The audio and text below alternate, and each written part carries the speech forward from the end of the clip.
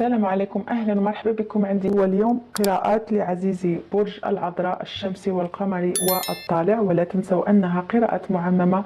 قد تنطبق على البعض منكم جزئيا أو كليا وقد لا تنطبق على البعض الآخر. لذلك أتركوا عفوا خذوا ما ما ترتاحون إليه من الرسالة وخلوا الباقي يرحل يرجع للكون آه، بسلام فهناك برج عذراء آخر يحتاج لهذه القراءة. ولا تنسوا استشارة برجكم الطالع أو الشمسي والقمري وهي قراءات للكل آه، للنساء والرجال. واخا للكل. لنبدأ. نخلي الرسائل. ونرى ما هي قراءة برج آه، العذراء هذا الشهر شهر جوان يونيو أو حزيران بسم الله. نتمنى لكم حظ سعيد حظ سعيد حظ سعيد يا ربي الحبيب وبسم الله. طاقتك عزيزي برج العذراء هي الحركة الرحيل السفر هذا الشهر. نعم. البعض منكم سيرحل ربما يعني تغيير السكن آه، لكن أرى كذلك سفر ربما سفر لي يعني للمتعة. des vacances غادي تاخذوا les vacances وغادي تسافروا وكذلك البعض الآخر يعني رحيل إلى بلد حتى إلى بلد آخر يعني هذا السفر يعني طويل واخا؟ حتى لبلد آخر. آه عزيزي برج العذراء البعض منكم تعملون في مجال التعليم أو الخياطة ومن ليس لديه عمل في هذا آه الشهر فهناك فرصة جميلة فرصة عمل في مجال السياحة. واخا؟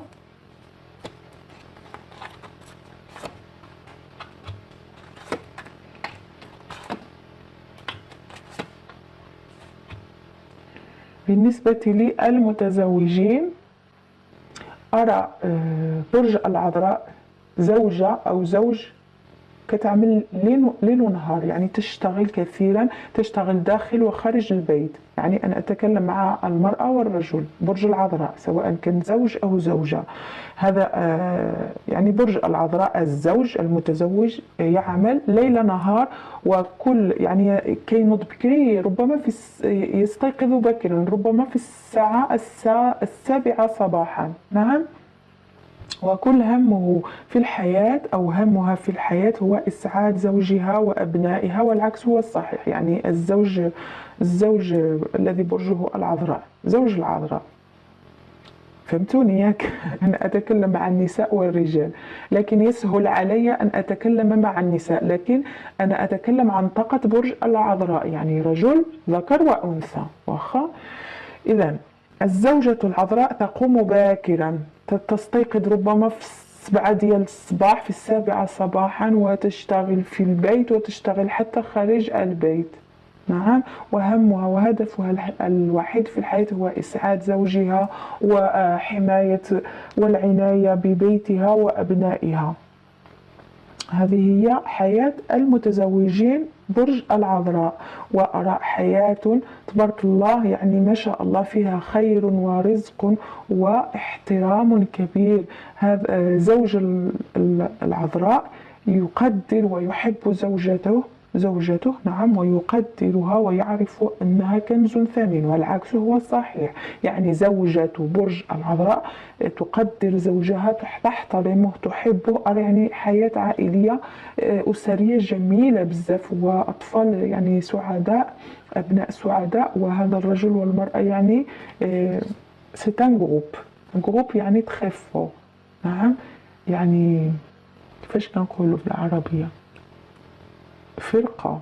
نعم فرقة groupe هو فرقة. يعني تكونان فرقة قوية يجمعها يعني رابط الحب والاحترام ويعني هدفكما هو العناية بزوجتك أو نعم وأبنائك وببيتك وأرى حياة أسرية جميلة بزاف. هذا كل ما أرى في ما يتعلق المتزوجين واحترام وحياة جميلة بزاف وفرح ورزق. نعم ما تقوله الكارت يعني رزق آه، وحياة هانئة وجميلة.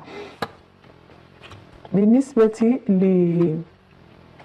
للمرتبطين هناك نعم حب هناك حب حب جميل هناك حب جميل وكذلك تريدون الاستقرار. تريدون الاستقرار لكن هناك يعني طاقة طاقة آه، طاقة آه، سلبية. ربما هي العائلة يعني لا تقبل هذه هذه هذه العلاقة. ربما أمك أنت أو أمها هي لا تقبل هذا لكن أنا أرى حب صافي بالنسبة للمرتبطين وطاقتكما هي المرتبطين طاقة ترابية وهوائية. ترابية يعني ثور وجدي وعذراء مثلك أو هوائية. ميزان دلو وجوزاء نعم بالنسبة للمرتبطين. أرى حب جميل وصافي لكن ربما هناك طاقة سلبية تريد أن أن تنهي هذه العلاقة.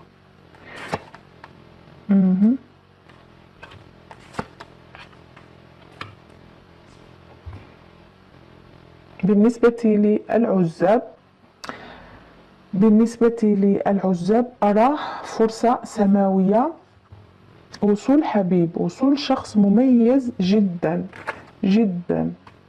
لكن سبحان الله يعني طاقتك أنت عزيزي برج العذراء هو الرحيل. الرحيل هو الأماكن البعيدة لأن هذا الشخص بالنسبة للعزاب هذا الشخص الذي سيصل إلى حياتك هو من مكان آخر ربما من بلد آخر. نعم وستتعرف عليه. إما أنت ستسافر إيه، ربما ستذهب لزيارة الأقارب. يعني غادي تمشي تشوف حبابك إما خالتك أو عمتك وستتعرف على هذا الشخص إيه، هناك. أو إذا كنت تعمل هذا الإنسان سيصل هو رفيق جديد في العمل وغادي تتعرف عليه وغادي يعني غتبنيو علاقة زوينة وجميلة. نعم. نعم علاقة جميلة. هذا الاستقرار. نعم. لنواصل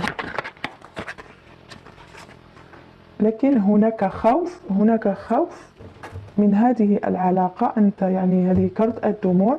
ربما هذا الإنسان سيرحل من من جديد لبلده أو أنت ستعود لبلدك وهذا الإنسان سيبقى في في بلده. لكن أرى يعني هناك مسافات بيناتكم وهناك دموع آه، دموع الحزن يعني ستبكي على هذا هذا الإنسان أو تبكي. يعني ربما أنت تعرفت على هذا الإنسان ويعني كتبكي لأنه بعيد.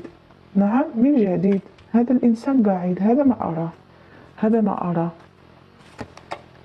نعم والآن آه لنواصل. يعني ما لا يمكنني يعني دابا آه سأتكلم عن المنفصلين. المنفصلين. نعم. المنفصلين أرى آه ربما آه، هذا الإنسان مع شخص آخر. هناك ربما انفصلتم بسبب خيانة آه، وهذا الإنسان الآن هو مع شخص آخر و أو حتى أنه متزوج هناك أطفال لكنه غير سعيد. هذا الإنسان غير سعيد. غير سعيد. هو يظهر صورة كاذبة يعني شاشة فقط. ما تراه إذا كنت يعني تراه آه، فهو ليس سعيد في الحقيقة. ليس سعيد. وربما هو مع هذا الطرف الآخر ربما لأسباب مادية أو ربما لأن هناك أطفال. نعم.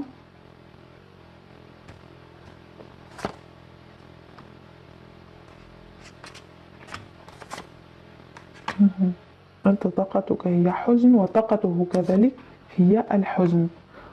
عزيزي آه، برج العذراء المنفصل أرى طاقتك أنت هي الحب والحزن وطاقته كذلك. لكن هذا الكارت كارت مهم جدا هذه رسالة آه، مهمة جدا. هذه آه، الرسالة تقول لك عزيزي أنك عليك تنظيف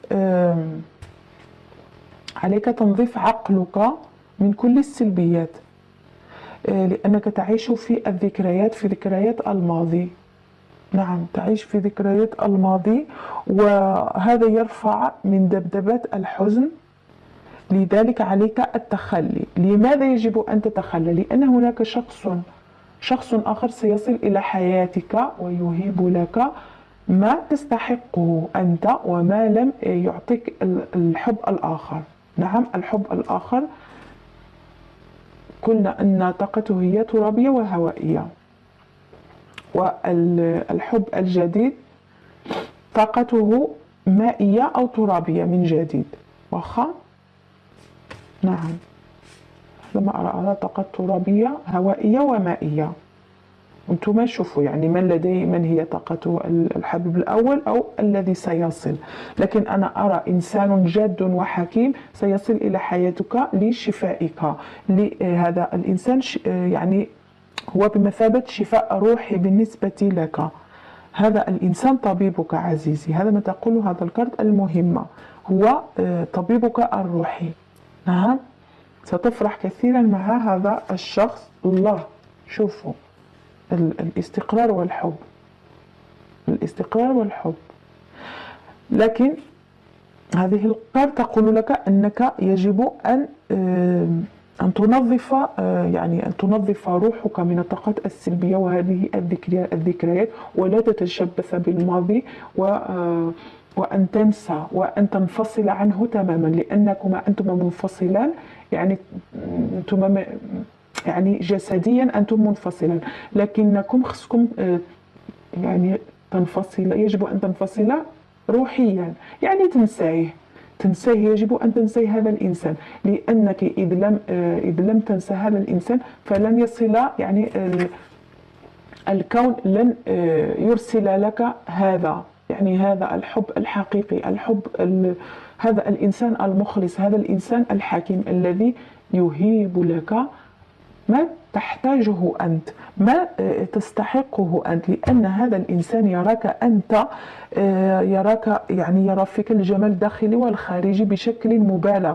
يعني هو يحب فيك عيوبك وفضائلك يحبك كما يعني كما أنت وهذا هو الحب الحقيقي.